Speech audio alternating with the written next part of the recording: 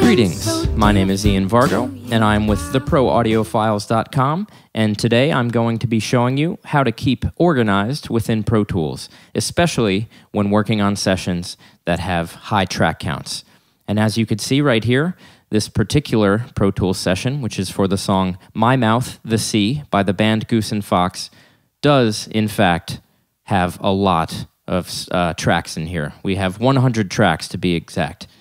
So, the way I see it is if you spend any time while you're mixing, uh, dedicating time to cleaning up, organizing, hunting for a track, or, or searching for things, that means that you're not being musical and you're not being creative and you're not serving the song.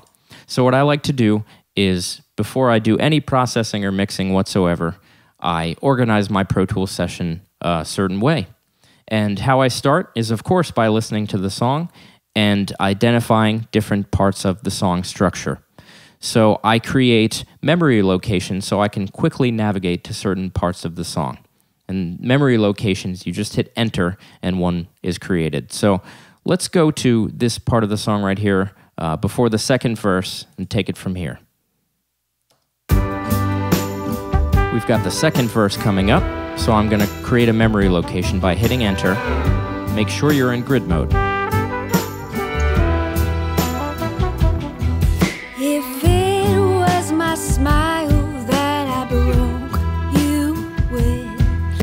Now, because I was in grid mode, when I hit enter and created this memory location,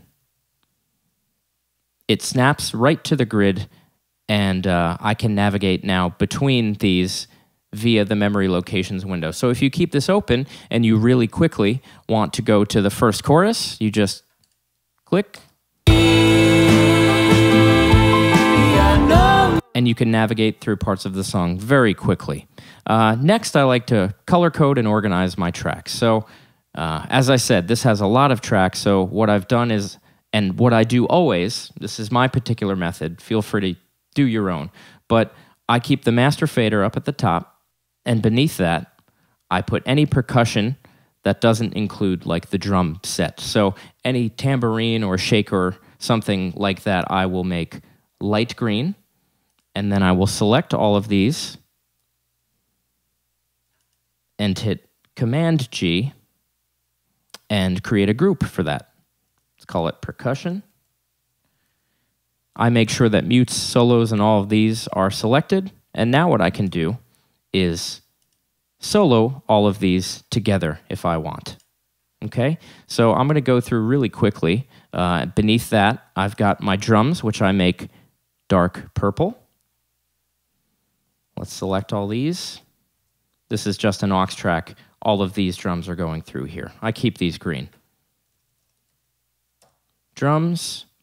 Bass is dark green. Makes sense to keep it near the drums because it's the rhythm section. My keys, which include piano, synthesizer, glockenspiel, mellotron, which I will show you in another tutorial, one of my favorite instruments. So you do this by selecting your first track, holding down shift, and clicking on the bottom track that you want selected. Command G. Call this keys. All my guitars are orange. All my horns, if you have any in your session, I make them yellow. Now, what we see right here is what is called string print. I keep my strings brown. Um, this is actually uh, a bunch of tracks combined. So that's another way to keep organized and save CPU. So if you have a, a large group of tracks, as I did here, I had a bunch of strings. Let's show you. And if you're happy with the way they're processed or you don't want to process them at all, what I did is I came out of my string track, my string aux, and printed them directly to this audio track right here. And that will save space and help you keep organized and saves a lot of CPU. Okay? So I don't need to group that. And then all my vocals, I make red because I want them to draw attention to the eye. Uh, I make them a nice bright red for the lead vocal and uh, duller reds for the backup vocals. Let's select these, group, vocals. Next, what I do is create track show hide memory locations. Now, this is a pretty easy process. Uh, what you do is you hit down, hit Option, and hide all of your tracks, and then show only the tracks that you want to create a track show hide memory location for. This is sort of a complicated process. I'll do it a couple times. So I have hidden all of my tracks, and then I show only the percussion tracks, and hit enter. And let's call this percussion one because I have already created one. Um, time properties, make sure to select none. And then general properties, I select track show hide. You can experiment with this. You can do some really great things, especially for large sessions. It's extremely helpful.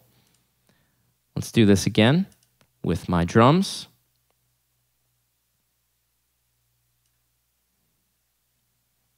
Enter drums. Time properties none, track show hide, make sure that's selected. Now what you can do is if you just want to visually focus on a, a certain part of the arrangement, um, these memory locations right here, uh, you can just click now and it will show what was visible when you created the memory location. In this case, we've got the drums here. We can toggle between drums and percussion, um, whatever you want to do.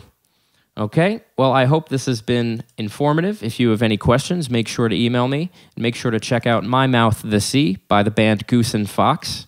And this is Ian Vargo with theproaudiofiles.com. Thank you.